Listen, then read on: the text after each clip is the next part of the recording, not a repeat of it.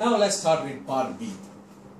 So before we look at uh, part B in detail, uh, take note of the word hence. When you see the word hence in your exam, uh, make sure that you use the answer that you just obtained in the previous part.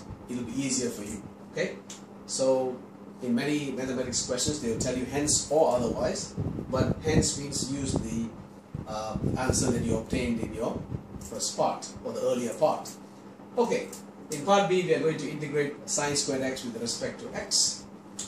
And uh, in part A, we found that when you differentiate sine x cos x, okay, in part A, we found that when you differentiate sine x cos x, you will get 1 minus 2 sine squared x.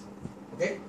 So, when you differentiate this, you will get this. Okay? Let's make a couple of notes here to help us along. So when you differentiate sine x cos x, you will get 1 minus 2 sine squared x. So which means, if you integrate, okay, if you integrate 1 minus 2 sine squared x, you must get sine x cos x. Okay? So let's write this. I'm going to erase this in a minute, just to give you an idea. So differentiate sine x cos x, you get this, 1 minus 2 sine squared x.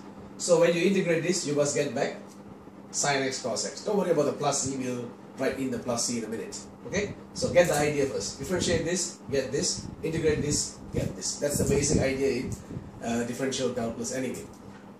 Okay, now that we know that, we can write down our solution. So let me erase this, we don't need that. Okay.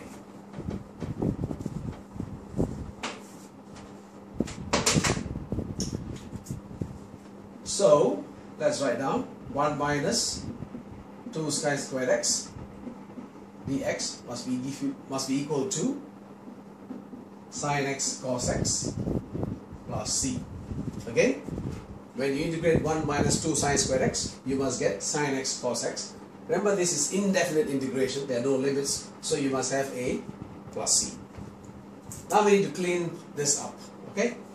So we can write this integral as, okay, bring the dx inside here, okay? So we can write it as dx minus 2 sine squared x dx equals sine x cos x plus c. Okay? We are bringing the dx inside. dx times 1 is dx. dx times 2 sine squared x is 2 sine squared x dx. So, this integral here, dx, will, when you have just dx, okay, the answer will just be x, okay, minus 2 sine squared x dx equals sine x cos x plus c. Okay? The integral of dx, again, the integral of dx is just x. This one I just taken out the 2 and written it as just the integral of sine squared x dx. And here I've not done anything. Okay, now I'm going to write, just rearrange my answer as 2 sine squared x dx will be equals to x minus sine x cos x plus c. Okay? I'm just taking this 2 sine squared x dx to the right hand side and bringing everything else to the left. So I left 2 sine squared x dx will be equals to x minus sine x cos x plus c. Don't worry about the c. You don't have to write minus c because minus c is another constant. Just leave it as plus c. Okay? So, now let me erase this part so I can write it here. Okay? You write it here. Okay. Let me write the whole thing here again. So I have 2 sine squared x dx equals x minus sine x cos x plus c. Okay? Now, we are almost done. We are the last line. Just divide throughout by 2. I have sine squared x dx will be equals to, divide by 2, yeah? divide throughout by 2. I'll have sine x cos x, the whole thing over 2, plus c. I'll repeat, don't get worried about this c. When you take this c is a constant, When you divide by 2, you get another constant.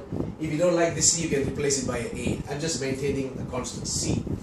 So that's it. Uh, we're done with the problem. Uh, I want to rewrite my answer as sine squared x dx will be equals to a half x minus a half sine x cos x plus c. You can leave your answer here. Okay, I just wanted to write my half differently. So I wrote half x minus a half sine x cos x plus c. And we're done.